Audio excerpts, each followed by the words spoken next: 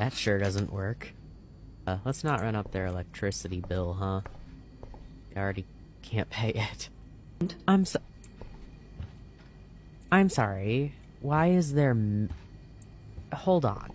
Why is there mayo in a mustard container and it's not refrigerated?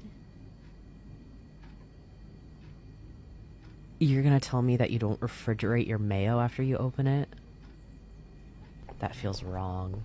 That feels utterly diabolical, to be honest.